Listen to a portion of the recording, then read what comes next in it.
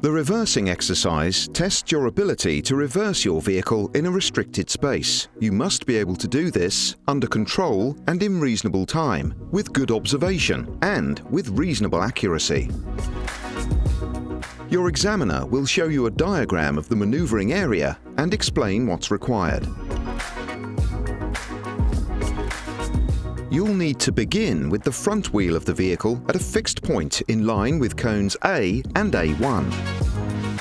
Start by steering right to bend the trailer left, then steer left keeping your wheels within the yellow line. Straighten up your vehicle and trailer and pass cone B on the offside of your vehicle heading towards the bay. Steer left to allow the rear of the vehicle to pass between the two cones and poles at the front of the bay.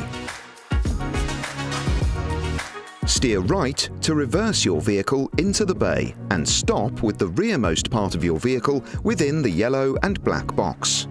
Get out of the vehicle to check that the vehicle is straight in the box and adjust if necessary. Throughout the whole reversing exercise, ensure you use your mirrors effectively.